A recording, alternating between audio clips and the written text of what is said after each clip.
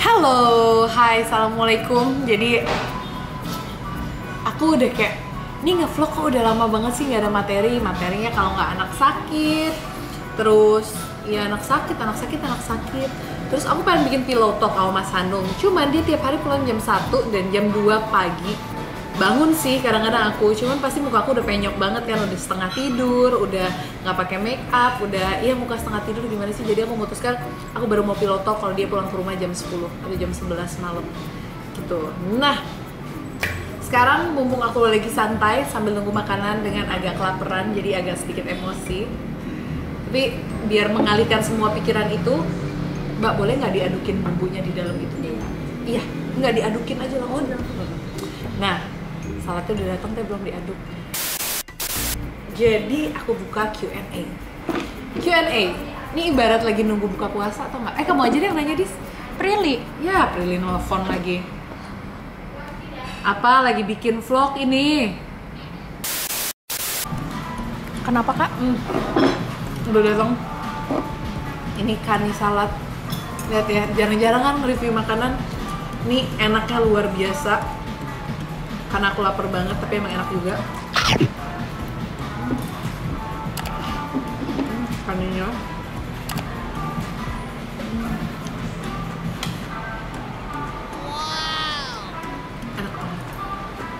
Oke, kita Q&A aja dulu. Oke. Pertanyaan pertama. Ada yang nanya, dia gimana caranya ngedidik anak biar nggak manja? Nah, gini loh, aku emang khawatir banget punya anak-anak eh, anak-anak mereka lahir dalam kondisi yang sangat nyaman. Nyamannya gini, aku sama Mas Hanung dalam kondisi keuangan yang aman. Terus kedua, aku sama Mas Hanung terkenal. Ketika terkenal, pasti kita otomatis mendapatkan perlakuan yang istimewa. Tapi aku sama Mas Hanung mendapatkan perlakuan istimewa menjadi terkenal karena kita memulai dari nol berdua. Jadi kita tahu banget rasanya orang nggak peduli sama kita, kita diperlakukan reguler biasa aja sama kayak orang lain. Kita melewati tahap-tahap itu dari orang nggak peduli lo sama aja sama orang lain nggak akan mendapat eh, perlakuan yang istimewa sampai akhirnya mendapatkan perlakuan istimewa karena kita berdua kerja keras untuk mencapai di titik itu gitu kan. Sedangkan anak-anakku lahir udah tiba-tiba jadi anak artis udah terkenal semua orang udah memberikan perlakuan yang istimewa sama mereka gitu kan. Itu mengkhawatirkan sekali buat aku dan Mas Hanung terus dengan kondisi keuangan yang aman aku bukan dari kondisi keluarga dengan keuangan yang aman. Aku dulu waktu mama aku hidup susah banget jangankan buat jajan makan ya. Aku waktu SMP aja sempet mama susah banget. Kita aku aja jajan tuh nggak bisa. Jadi tiap jam istirahat itu kelaparan sampai luar biasa. Terus aku dititip di rumah om aku. Aku pengen beli deodoran aja nggak bisa.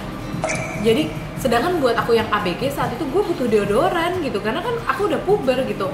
Sampai aku nyolong MBK mbaknya om aku.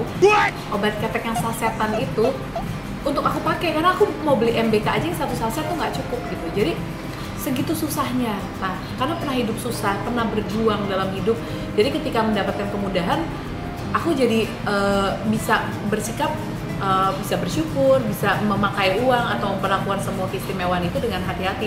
Tapi anakku yang lahir tiba-tiba udah diistimewakan sama semua orang udah mendapatkan kemudahan itu aku khawatir banget. Makanya mbak di rumah aku selalu bilang sama yang namanya mbak Diana mbak Siti mbak Ina jangan pernah memperlakukan anakku kayak anak majikan. Kamu perlakukan anakku seperti anak kalian sendiri. Jadi orang suka bingung melihat Mbak Diana, Mbak Siti gitu kan. Kadang galak ke Sibil, ke Kala, ke Bre, ke Aba gitu. Karena aku nggak mau ketika mereka di luar mendapatkan keistimewaan di rumah tuh mereka mendapatkan keistimewaan kayak ambilin makan, ambilin minum, dimandiin, diapain, dirapihin kamarnya enggak. Kalau di rumah mereka tidak akan menjadi anak-anak yang seperti itu. Jadi aku biasakan mereka mau minum ambil sendiri. Ada guru ngaji ambilin minum buat guru ngaji kalian ada tamu apa jadi tidak akan mendapatkan itu yang spesial. Dan masih banyak lagi aku dengan Mas Hanung aku dengan Mas Hanung sekarang lagi men-set plan bagaimana kita mendidik anak-anak dengan semua sebenarnya kemudahan yang ada tapi mereka tidak mendapatkan kemudahan-kemudahan itu dengan mudah gitu. Aku pengen mereka berjuang untuk dapat sesuatu. Jadi tiap mereka pengen mainan pengen apa gitu nggak. Dia beli mainan walaupun aku bisa beliin aku akan nggak. Kamu harus dapatkan sesuatu dulu supaya kamu dapat reward mainan. Itu yang nggak mudah ketika orang tua bisa memberikan sesuatu dengan mudah tapi kita harus nahan diri untuk nggak memberikan kemudahan itu. Tapi itu cara kita ngajar supaya anak kita bisa struggle bisa berjuang. Anakku harus tumbuh menjadi seorang pejuang kayak aku dulu. Dia tips ngeyakinin suami buat punya anak jarak pendek-pendek. itu salah. Bagaimana meyakinkan suami untuk punya anak jarak pendek-pendek? Mas Hanung dari pertama kali aku bilang aku pengen hamil dia bilang please anaknya satu aja aku udah ada bumi. Dari kamu satu aja kita nggak usah punya keluarga banyak-banyak. Kita yang penting kan kualitas dibandingkan kuantitas. Tapi kita berdua selalu kebobolan. Aku selalu hamil lagi hamil lagi hamil lagi. Dan hamil lagi tuh aku emang dulu pengennya punya anak tiga.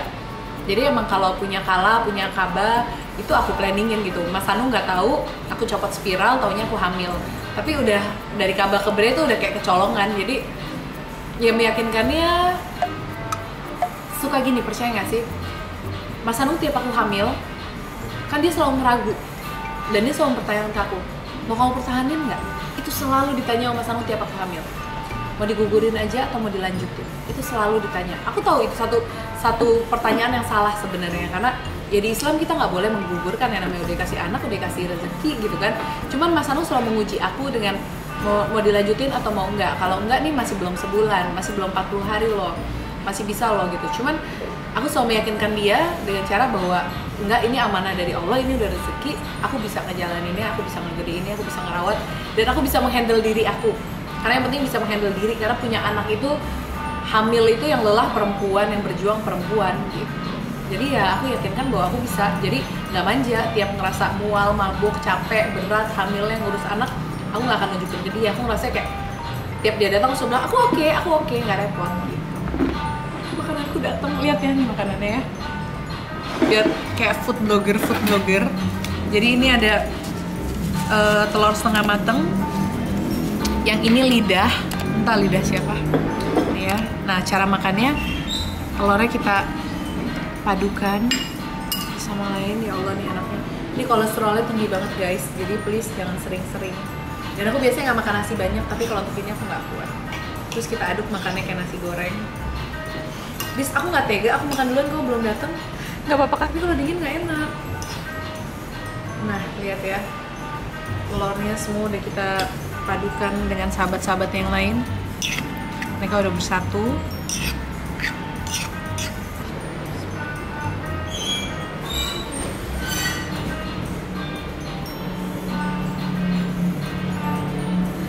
Aku nggak mau ngomong. Enak banget ya Allah Pasti ada yang nanya, dia bubur tim bubur diaduk atau aku enggak? selalu diaduk semua makanan. Tapi kalau mie ayam aku nggak suka diaduk. Jadi aku makanin ayamnya dulu baru aduk mie nya tapi kalau bubur diaduk. Makan. Maaf ya guys Banyak yang nanya tau kak itu. Apa? Boleh nggak sih makin nama anak-anak dia? ya boleh lah. Udah resiko aku ketika aku dikenal sama orang orang pengen terinspirasi dari segala sesuatu yang aku punya ya silahkan aja. Nama kan doa tapi cari tahu dulu artinya sesuai nggak sama hati kalian gitu sama konsep kalian. Gitu. Maaf kan kiri makasih. Jadi pastikan nama anaknya sesuai dengan kalian dan suami juga setuju. Aku udah kenyang. Mukanya langsung beda. Beda. ya? Tadi ngomongnya agak berapi-rapi agak emosi. Kenyang alhamdulillah. Oke lanjut Nih, kak, Kak Iya kan nikah muda. Tapi nanti gimana ketika anak Kak Iya minta nikah muda juga? nggak apa-apa karena aku ngerasain banget nikah muda minta perjuangan buat nikah muda sama orang tua itu nggak mudah sekali dan em, buat aku dua-dua sih bukan bukan usia yang muda ya kalau buat aku orang nikah muda tuh ya di bawah 20 tahun tapi buat aku dua-dua tuh udah usia yang cukup ideal dan cukup dewasa juga untuk menikah tapi misalnya ntar anakku pengen minta nikah umur 20 kan dulu banget lah kalau sekarang masih bilang boleh. Nggak tahu nanti masih bilang umur 20 ya. Cuman kalau emang aku lihat dia seba secara mental, secara finance, secara diri calonnya juga emang udah siap ya aku harus aku harus mengingat aku di saat usia seperti dia gitu. Jadi harus harus mengizinkan. Karena ketika anak sudah siap menikah kan di Islam juga dibilangnya kalau udah siap menikah ya disegerakanlah gitu. Karena karena dengan menikah itu bisa menjaga pandanganmu bisa menjaga kemaluanmu gitu. Jadi takutnya ketika kita tahan-tahan anak kita malah berlaku eh, tidak sesuai dengan syariat Islam dia pacaran nauzubillah misalnya dia berzina. Kita yang dosa juga karena kita menyulitkan anak ingin untuk menikah gitu. Jadi ya semoga anakku nanti nikahnya umur dua-dua aja kayak aku. Tetep ya semoga dua-dua aja paling muda tapi ya nggak tahu ya jodoh nanti Allah menentukan mereka seperti apa Bismillah semoga aku bisa menjadi orang tua yang bijaksana ketika anakku dewasa Kemudian, Hmm. Bia gimana sih caranya biar adil ke anak, biar anak nggak ngerasa dipilih kasih sama Bia? Iya, ibu-ibu yang udah punya anak banyak pasti ada ngerasa bukan hal yang mudah loh untuk adil gitu. Apalagi bersikap adil kepada si kakak. Karena secara otomatis kadang-kadang kita melihat kakak tuh tuntutannya kamu udah harus dewasa. Terus secara fisik, secara eh, kelakuan apa pasti makin gede tuh makin nyebelin itu udah pasti dan yang lebih kecil itu pasti lebih ngegemesin lebih lucu dan secara kita ngelihat eh, spontan aja pasti kita rasanya pengen ngebela yang kecil karena kayaknya lebih lucu, lebih masih kecil, masih harus dibela gitu kan. Tapi ya itu harus kita balikin gitu. Kadang-kadang em, setiap aku misalnya lagi pengen bersikap terus atau enggak kadang-kadang aku suka kebablasan gitu kayak nggak adil gitu kan. Aku pas malam-malam ih si Bill kayak tadi lagi cerita terus aku kayak eh, cuman ah, ah iya iya iya iya iya nggak dengerin banget itu besok paginya aku akan ngerasa semalaman aku akan merasa bersalah besok pagi aku akan nyamperin dia si Bill maaf kamu tadi eh, tadi malam cerita dia lagi nggak konsen banget nah dia lagi ada mikirin yang lain Ehm, kamu tadi malam cerita apa sih gitu jadi kita sebagai orang tua harus mau menerima eh, kesadaran bahwa oke gue tadi nggak adil mengakui kesalahan ke anak maaf ya tadi malam pas kamu mulai begini dia begini aku selalu gitu terus langsung aku memberikan waktu dan perhatian yang lebih kepada dia untuk membayar apa yang tadi sempat terabaikan. Manggil please ini es krim gak bisa nunggu. Hmm. KB itu beresiko kah? Bia? Bia pasang KB gak? KB berhasil. Kalau kalau dipasang spiral berhasil nahan hamil. Cuman biasanya aku langsung hamil pas spiralnya lagi kebuka. Jadi aku kalau pakai spiral udah 2 tahun pasti ngeflag. Terus kayak ada berdarah gitu kan. Jadi biasanya aku copot dulu. Nah pas copot itu yang biasanya cuma sebulan aku selalu langsung hamil. Mamaku anaknya 7 kalau hidup semua 10 jadi emang turunannya subur sih alhamdulillah. Jadi ya, ya sudah. Rezekinya dikasih banyak juga sama Allah. Dititipin anak-anak banyak yang luar biasa. Bisa jaga keempat anak tanpa pengasuh nggak Bia? jaga empat anak tanpa pengasuh. Bisa. Tapi aku pasti akan penuh dengan emosi. Asli. Ngurus anak emang susah-susah gampang butuh kesabaran yang luar biasa. Hal kecil aja. Nyuruh si Bill makan aja itu kayak ngasih dia racun. Susah banget. Ntar si Bill makannya susah. Kalau makannya lama baru tiga suap dia selalu bilang sakit perut. Kaba makannya gampang. Cuman picky mereka kata nyuapin dia nggak mau makan sama sekali tapi dia maunya ngemil setiap saat. Itu baru hal makan. Belum hal tidur. Belum nyuruh mandi. Jadi aku bisa ngurus anakku empat empat ya tanpa pengasuh. Tapi ya pasti aku agak sedikit nggak waras sih. Pasti akan marah-marah mulu. Pasti akunya berantakan. Gitu. Gitu tapi makanya aku salut sama perempuan-perempuan yang ngurus anaknya sendiri anaknya lebih dari tiga. Terus perempuan-perempuan yang di luar negeri karena kan nyari pengasuh di luar negeri nggak mudah dan mahal sekali. Keren aku sih. Pas hamil si Bill sampai bre, Bia ikut promil nggak? Atau cuma pola hidup sehat doang? Ehm, jelas tiap mau hamil aku mempersiapkan diri untuk hamil jadi aku lebih perhatiin asupan makanan gaya hidup terus lingkungan sekitar pasti aku akan rubah semua sih jadi ada iya promil ada karena ya pengennya kan ngasih yang terbaik dari dia di janin Bre mulai sekolah kapan kak? Bareng sama kakaknya nggak? Enggak. Berarti itu baru sekolah. Nah, kalau nanya soal bre sekolah sibil dulu waktu pertama yang namanya juga anak pertama, aku terlalu excited kan, pengen banget dia sekolah. Tau gak sih sekolah hari gini tuh udah ada anak dari tiga bulan udah sekolah. tiga bulan, enam bulan, 8 bulan, satu setengah tahun tuh udah ada. Sibil dulu aku sekolahnya dari enam bulan, itu tega banget sih. Terus satu setengah tahun sekolah yang ku tinggal. Ternyata sekolah kecepatan ngebuat anak tuh lelah, ngebuat anak stres.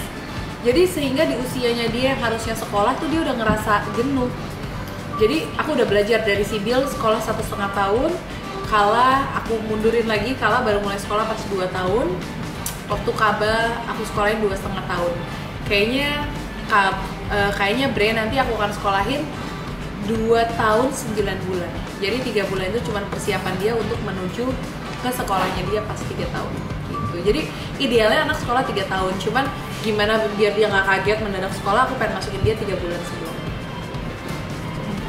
Gimana sih dia cara menikmati hidup yang ikhlas? Kulihat dia selalu alhamdulillah terus. Ini loh kuncinya kalau kita supaya bisa terus bersyukur sama Allah, kuncinya cuma satu. Jangan pernah melihat orang yang lebih dari kita. Tapi selalu lihat orang yang lebih kurang dari kita, lebih susah dari kita. Jangan jadi kayak gini, kayak kemarin aku sakit, anakku sakit berlima. Aku buat aku tetap bersyukur gitu. Kenapa? Alhamdulillah kita berlima sakitnya cuman demam, cuman batuk, pilek. Alhamdulillah kita cuma tiga hari di rumah sakit. Alhamdulillah kita penyakitnya nggak ada yang berat gitu. Jadi ketika kita melihat segala sesuatu dari hal yang positif, kita melihat bahwa ada orang yang lebih susah dari kita. Ada loh orang yang punya anak dua, tiga, tapi anaknya sakit semua. Ada yang cacat juga anaknya gitu kan. Jadi selalu melihat orang yang lebih kurang dari kita. Terus misalnya hari ini kita kurang beruntung apa gitu kan. Misalnya kita dikasih sakit gitu kan, sakit lah yang lagi gue alamin banget kemarin. Ya aku selalu bersyukur bahwa ya Allah alhamdulillah ya ternyata aku dikasih sakit tapi sakitnya nggak yang berat. Ya penyakitnya cuma penyakit yang ya paling seminggu sembuh, dua minggu sembuh. Ada loh orang yang sakit nggak bisa bangun dari kasur berbulan-bulan gitu. Jadi please jangan pernah melihat orang yang lebih di atas dari kita karena itu akan membuat kita untuk sulit banget bersyukur membuat kita selalu ngerasa kok dia bisa? Kok lo ngasih dia gitu ke gue? Enggak gitu. Tapi selalu lihat orang yang di bawah kita. Selalu dalam hal apa pun. Dalam hal keuangan dalam hal fisik. Misalnya kita ngerasa nggak puas sama diri kita kok aku nggak secantik dia ya? Kok badanku nggak sekurus dia ya? Kok badanku nggak ini? Tapi lihat oh ada orang yang badannya ternyata kurus tapi nggak sehat. Ada orang yang nggak lebih baik dari kita. Gitu. Jadi selalu lihat yang lebih kurang aja. Nggak akan tuh kalau kamu ngelihat orang yang selalu lebih kurang nggak akan pernah ada hari ada kejadian yang kamu nggak bersyukur. Apa pun apa pun lagi diuji sama Allah pasti kita akan selalu bersyukur. Karena kita tahu ada orang yang lebih berat lagi ujian Cara ngatur uang sama pasangan gimana Bia? Mau di-share nggak? cara ngatur uang pasangan aku nggak ngerti. Aku nggak pernah ngatur keuangannya Mas Hanung. Em, kayak Mas Hanung em, cuman ngasih aku bulanan dari bulanan ya aku ngatur dari apa yang dia kasih. Terus udah kita ngatur uang masing-masing. Terus ketika kita ada keinginan masing-masing kita tinggal bilang misalnya kita mau jalan-jalan. Kita mau jalan-jalan nih kamu ada uang berapa aku ada uang berapa yang kita akan alokasikan untuk liburan itu. Nah udah nanti biasanya Mas Tanu akan ngasih ke aku budget aku misalnya segini gitu kan. Ya aku akan kelola dari budget dia yang budget yang aku punya untuk dapetin liburan yang kita pengenin dengan budget yang ada gitu. Jadi lebih ngobrol sih. Ntar kalau misalnya lagi aku yang lebih habis atau dia yang lagi habis tinggal bilang aku lagi habis nih uangnya jadi gantian pakai uang kamu dulu ya gitu kan. Aku sih ngaturnya gitu ya. Dari aku. ada nggak sukanya nggak sih kayak jadi terkenal? Bagian yang nggak yang nggak suka dari terkenal? Oke, kalau bilang terkenal, aku selalu bilang menjadi terkenal ini adalah blessing, satu berkah yang luar biasa dari Allah. Karena aku ngerasain banyak sekali kemudahan yang aku dapetin setelah menjadi terkenal gitu kan. Tapi ujiannya juga luar biasa gitu. Jadi kadang-kadang em, ada satu omongan ulama yang bahwa jangan jangan senang dulu, jangan ngerasa bahagia kamu bisa terkenal dikenal orang banyak karena lebih bahagia orang yang lebih dikenal di langit sama Allah dan sama para malaikat karena amal baiknya gitu nggak ada apa-apanya dibandingkan dengan kamu terkenal di dunia gitu terus emang aku dari SMP kalau ditanya sama guruku cita-cita kamu apa sih? Aku tuh nggak pernah jawab aku pengen jadi dokter pengen jadi artis pengen jadi apa. Nggak. Yang jelas aku dari dulu selalu jawabnya aku pengen jadi orang yang banyak manfaatnya untuk orang banyak. Terus aku selalu mikir caranya gimana caranya aku bisa bermanfaat untuk orang banyak. Satu aku harus punya kekuatan aku harus punya power. Yang kedua aku harus punya materi aku harus punya uang. Ketika aku punya uang aku punya power aku bisa dengan mudah membantu orang lain dan aku bisa lebih mudah bermanfaat untuk orang lain. Jadi dari SMP itu yang aku kejar. Gimana ya aku bisa mendapatkan sebuah kekuatan sebuah power sebuah sebuah kemudahan yang bisa menjadi terkenal? Makanya aku dulu ngincer banget gimana ya cara bisa jadi artis ya. Karena apa? Eh, keterkenalan yang ada nanti aku pengen gunain untuk bisa bantu orang. Terus yang kedua aku ngumpulin uang bukan pengen perkaya diri aku tapi aku pengen bisa dengan mudah bantu orang. Makanya emang orang Islam juga kan dibilang kamu harus kaya karena dengan kaya kamu akan bisa mudah zakat kamu bisa mudah sedekah bisa bantu se- sesama saudara kamu sama muslim. Gitu. Jadi terkenal itu satu berkah yang luar biasa sih dari Allah. Cuman emang ada ujian besar di dalamnya. Semua harus aku pertanggungjawabkan. Ucapanku sikapku caraku berpakaian nggak cuman buat masyarakat yang akan nilai tapi aku harus bertanggung jawab kepada Allah nanti. Karena bisa ada orang yang terinspirasi dari aku untuk melakukan hal yang baik alhamdulillah itu tabungan buat aku. Tapi kalau aku melakukan hal yang buruk ditiru sama orang itu juga jadi tanggung jawab aku di akhirat nanti.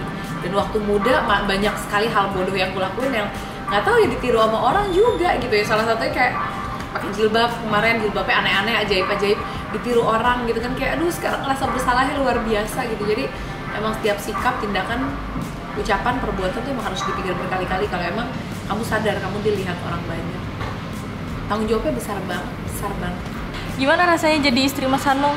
Istri- Pasti kan sering ditinggal.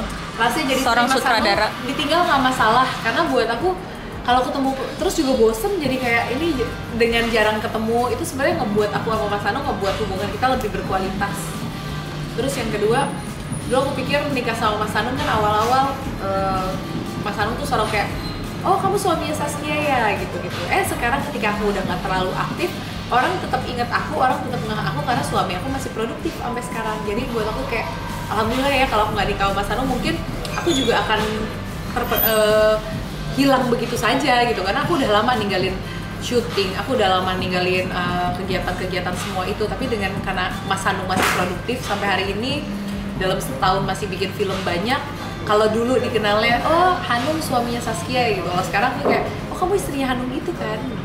Jadi ya senang sih. Jadi masih terjaga keterkenalannya. Kita udah selesai. Tadi datang dari kelaparan. Aku butuh sesuatu untuk mengalihkan emosiku pikiranku dari perutku yang keroncongan. Makanya aku bikin Q&A alhamdulillah banyak yang nanya dalam waktu sekejap. Aku mencoba jawab. Nggak banyak sih karena tadi kepotong makan aku paling nggak bisa loh makan sambil kayak food blogger yang sambil wah ini makannya enak. Rasanya makan sambil ngomong sambil ngejelasin sambil direkam tuh rasanya an- aneh banget. Jadi nggak nyaman. Jadi tadi kepotong makan sekarang sakit perut dan aku harus pulang. Jadi udah dulu ya. Thank you. Pokoknya kalau mau nanya-nanya lagi tungguin aja. Ntar buka Q&A kalau yang ini banyak yang nonton. Kalau nggak banyak yang nonton aku pilot top aja aja Aku tunggu.